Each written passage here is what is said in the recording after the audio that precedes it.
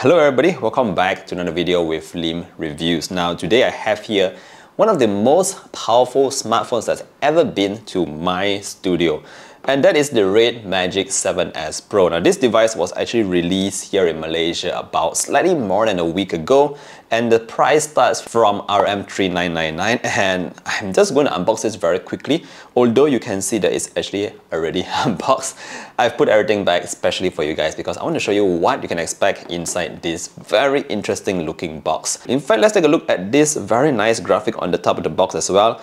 You have some cartoonish stuff going on there. I don't think that's actually cartoons, more like manga or anime or something like that. But yeah, let's unbox this right away and let me share with you a couple of my experiences.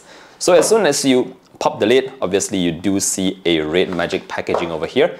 And this basically contains your casing. We also have a very, very long SIM pin ejector over there, so that's worth noting as well. And the case actually is a gaming phone kind of case. I like that because it's not your typical case. We have this uh, sort of like, you know, hole in the middle here that actually shows off the design of the phone because it looks really cool. So I'm going to put that down for now and let's bring off the phone itself. And there we go. This is the Red Magic 7S Pro. Again, we're going to put this down for a second because we want to see what else is in the box. You get this, uh, what do you call it, scan to start some kind of thing, but I don't think you need that. Other than that, you also get a red cable in the box, guys. This is a Type-C to Type-C connector. Very cool. And last but not least, you get the 65 watt GaN charger in the box. I like the fact that this is a fairly small size charger. So it's not something super huge like you see from other brands. But yeah, that's basically what you get in the box. All right, so let's just unwrap this guy really quickly. I'm just going to peel this off for fun then. Let's go. Eh, there you go. Alright, so this is the phone itself, the Red Magic 7S Pro. While speaking, let me just pop that button so we can start up the device itself. Now, there's actually a couple of uh, interesting things that you can find on the back here, which I'm not sure if you like it or hate it. Me personally, I kind of like it. I think it looks kind of cool here. So right in the middle, we have this sort of like camouflage kind of design going on here.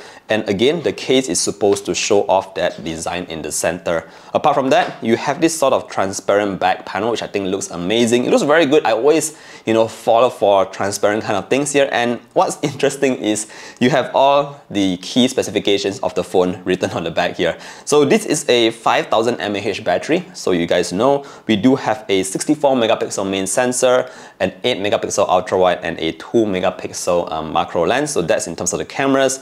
On the top here, you do have this fan that actually spins and there's RGB lighting going on at the back as well. As you can see, the number here shows that we have 20,000 RPM. So this little fan here actually blows quite a fair bit of wind out from the device itself. Of course, the main star of the show, we do have a Snapdragon 8 Plus Gen 1 in here. And like I said earlier on, just in terms of the RAM and the memory storage, we have 18 gigabytes of RAM and 512 GB of internal memory. Very, very cool. Right, so if you just move the phone to the side, I want to show you guys a little bit more. We do have the volume rocker over here. This is the power button. You have your shoulder triggers. Now, these are very sensitive. These are pressure sensitive kind of triggers here and they refresh at 540 Hertz. So it should be fairly sensitive. Apart from that, notice that we do have this very tiny grill here and that's actually for the fan. So let me just turn on the fan for now very quickly so you can see it. So we just tap that button and the fan will turn on. I did notice that similar to how a gaming laptop works, you will hear a bit of sound but it's not that loud. It doesn't really affect your gameplay and overall I think it's quite acceptable. Air is actually going through here, it's being fed through these grills on the, on the back panel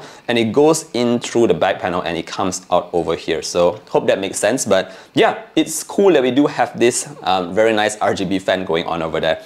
Right, so moving on to the other side of the phone, over here we do have a gaming mode switch and this is actually very nice. Again, I like this kind of stuff because you know I play games quite a fair bit, so I'm going to show you guys very quickly.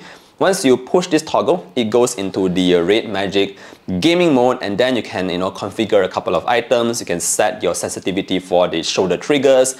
You can configure a lot of stuff here just like how you can do it on a different kind of you know other kind of gaming phone. So I'm just going to switch that off for now. And yeah, this is basically how the phone looks and feels like. Now, one really cool thing about the Red Magic 7S Pro is actually the display at the front. It is 120 Hz, but the most important thing here is that we do not have any form of notch at the top. Notice that it's a completely notchless or selfie camera-less kind of display, but the selfie camera is actually hidden at the back. We do have a 16 megapixel selfie camera it's really hard to spot it. I don't really see it at all. Even when I rotate the phone from different angles, even when I'm outdoors, I do not actually see the selfie camera at all, unlike other phones. So pretty cool stuff there. If you are the kind of person like myself, I don't take a lot of selfies. I honestly kind of like it being hidden at the back there and I have this completely perfect, nicely done screen at the front. AMOLED display by the way, again 120Hz so everything is very smooth here and honestly speaking for gaming it is just awesome.